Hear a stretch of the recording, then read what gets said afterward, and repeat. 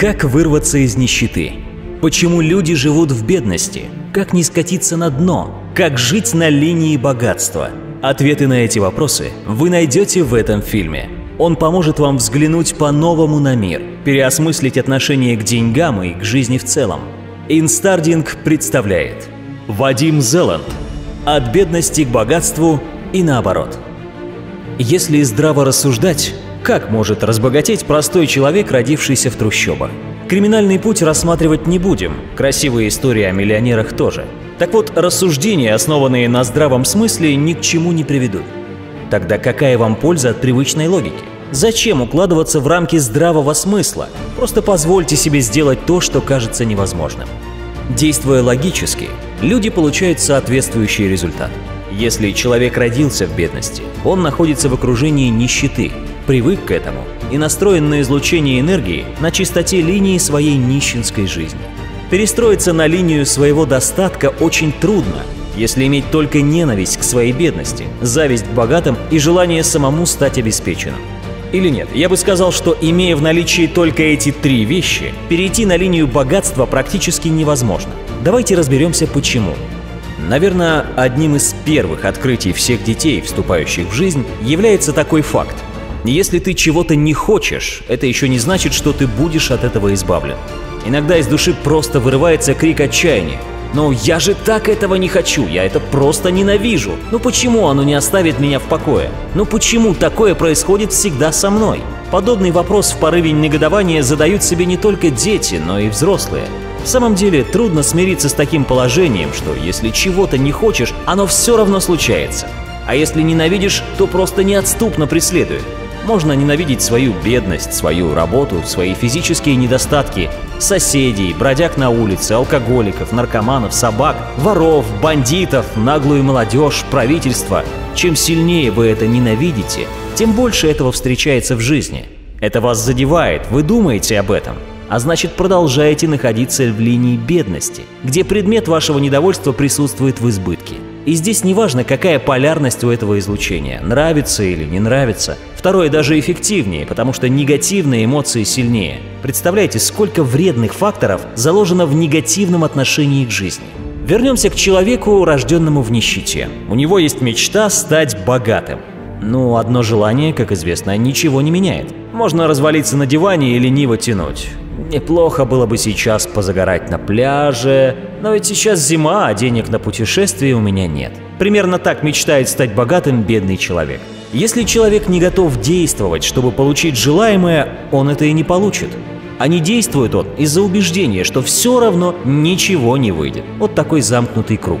Желание не имеет никакой силы, оно не может даже пальцем пошевелить. Это делает намерение, то есть решимость действовать. Намерение включает в себя также готовность иметь. Человек может сказать, ну, уже это у меня не отнимешь. Это так просто, ведь я хочу быть богатым.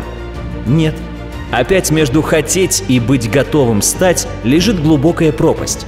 Например, бедный человек чувствует себя не в своей тарелке в богатой обстановке или в дорогом магазине, даже если изо всех сил старается убедить себя и других в обратном. В глубине души он считает, что недостоин всего этого, Богатство не входит в зону комфорта бедняка, и не потому, что быть богатым некомфортно, а потому, что он далек от всего этого. Новое кресло удобнее, зато старое комфортнее.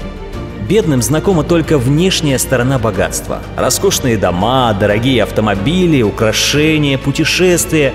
Если бедного человека поместить в такую обстановку, он будет чувствовать дискомфорт.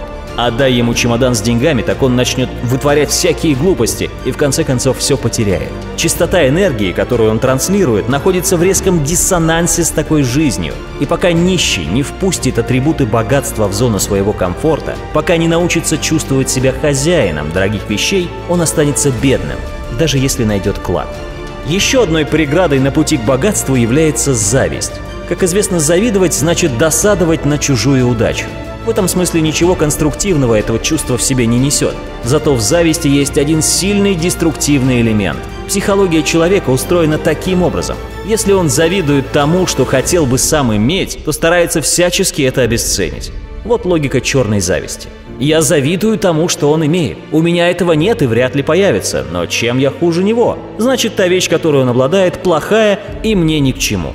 Так желание иметь переходит в психологическую защиту, а затем перерастает в отторжение. Отторжение идет на тонком уровне, потому что подсознание все понимает буквально – Сознание обесценивает предмет зависти только для виду, для самоуспокоения, а подсознание все воспринимает всерьез. И здесь оно оказывает медвежью услугу, делая все, чтобы не получить обесцененное и отвергнутое. Таким образом вы видите, какие цепкие силы держат человека на бедной линии жизни. Еще более драматично развиваются события при переходе с обеспеченной на бедную линию жизни. Бывает, что вполне благополучный человек теряет все и оказывается на улице. Все коварство такого перехода к нищете проявляется в том, что его спираль раскручивается сначала медленно, незаметно, а затем все стремительнее, так что ее уже нельзя остановить. Эта спираль начинается с временных финансовых трудностей. Заметьте, временные финансовые трудности могут быть всегда и у всех. Это такая же обычная неизбежность, как, скажем, дождь в день, когда вы собрались на пикник. Если по этому поводу не впадать в ярость, депрессию, беспокойство или обиду на жизнь, то, не получив негативной подпитки, ситуация стабилизируется. Настоящий переход на бедную линию жизни начинается в том случае, если вы сильно ухватились за кончик спирали и начинаете ее раскручивать. Первая ваша реакция – недовольство. Для сложившейся трудной ситуации это пока слишком слабая поддержка, и если на этом ваши эмоции иссякнут, то она разрешится. Другая реакция – негодование, а это уже сильнее. Вы начинаете посылать в ваш окружающий мир информацию о том, что в ваших финансовых трудностях кто-то виноват. На этот второй толчок вы отвечаете негативными отзывами или действиями в адрес виновников. В этот момент негативная энергия начинает вас заполнять целиком, и начинается новый виток спирали. Вы получаете очередную зарплату еще меньше, или цены подскочили, или с вас требуют выплаты долга. Обратите внимание, на данном этапе вы еще не осознаете, что идет какой-то процесс. Просто может показаться, что произошли досадные неприятности. На самом же деле это направленный процесс, который запустили вы сами, отвечая на негатив негативом. Частота вашего энергетического излучения все больше перестраивается с линий, где вы преуспевающий, на линии, где вы обделенный и негодующий. Поэтому и переноситесь на линии жизни, соответствующие этим новым параметрам. И вот ваше положение все больше усугубляется. Отовсюду начинают поступать плохие новости. Цены растут, дела в вашей компании идут неважно. Вы начинаете активно обсуждать эти негативные новости со знакомыми и близкими. Обсуждение, как правило, ведется в деструктивном ключе, то есть жалобы, недовольство и агрессия в адрес предполагаемых виновников. Особенно ярко это проявляется в компаниях, где дела совсем плохи. Там день начинается с постулата о том, что денег нет, как с утренней молитвы. Ни в коем случае не убивайтесь по поводу недостатка или утраты денег, иначе их будет все меньше и меньше. Если человек мало зарабатывает, то типичной его ошибкой будет нытье по поводу того, что денег вечно не хватает. Параметры такого излучения соответствуют бедным линиям жизни. Особенно опасно поддаваться тревоге, что денег становится все меньше. Страх является самой энергетически насыщенной эмоцией, поэтому, испытывая страх потерять или не заработать деньги, вы самым что ни на есть эффективным образом перемещаете себя на линии, где денег действительно становится все меньше и меньше. На этом этапе вы уже полностью захвачены спиралью. Ваше излучение настроено на деструктивную частоту. Поскольку дела идут все хуже, вас охватывает беспокойство. Энергия беспокойства, несмотря на ее небольшую величину, очень хорошо проявляется в ваших действиях таком состоянии вы неизбежно будете создавать вокруг себя ауру негатива, все чаще испытывая недовольство, агрессию, депрессию, апатию, обиду и так далее. Таким образом, ситуация выходит из-под контроля и начинает развиваться лавинообразно. Страх вами полностью овладевает, и вы пускаетесь во все чашки. Вас как будто взяли за руки и закружили, закружили, а потом резко бросили. Вы отлетели в сторону, упали и остались лежать в шоковом состоянии. Страшная картина. А началось-то все это с небольших финансовых трудностей. В итоге, когда спираль развернулась, несчастный в лучшем случае потерял очень много, а в худшем – все. Дальше события могут развиваться по-разному. Несчастный либо останется лежать на неудачной линии жизни, либо начнет с трудом выкарабкиваться. Такой переход может происходить как с отдельным человеком, так и с большой группой людей.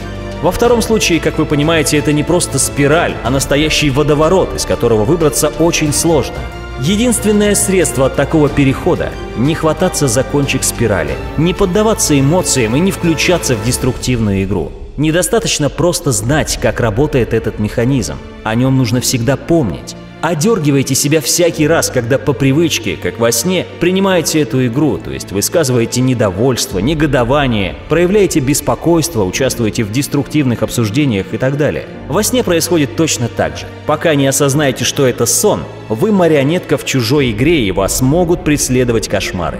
Как только очнулись, отряхнулись от видения, осознали, какая идет игра, все, вы хозяин положения и не станете жертвой обстоятельств, в то время как все вокруг пребывают в зомбированном состоянии. Давайте подведем итоги.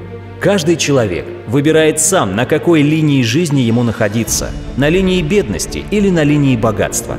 Излучая негативную энергию, человек сам ухудшает линию своей жизни. Агрессия ошибочно принимается за силу, а недовольство за нормальную реакцию – чем чаще человек откликается на негативные события, тем хуже для него. Это ведет его на линию бедности. Старайтесь не пускать на линию своей жизни любую негативную информацию. Не пускать означает не избегать, а намеренно игнорировать, не интересоваться. Негативная информация, недовольство и зависть не решили еще ни одной проблемы, они наоборот добавляют их. Так что вам нужно концентрироваться на пользе и на возможностях. Мир, как зеркало, отражает ваше отношение к нему. Когда вы недовольны миром, он отворачивается от вас. Когда вы боретесь с миром, он борется с вами. Когда вы прекращаете свою битву, мир идет к вам навстречу. Вадим Зеланд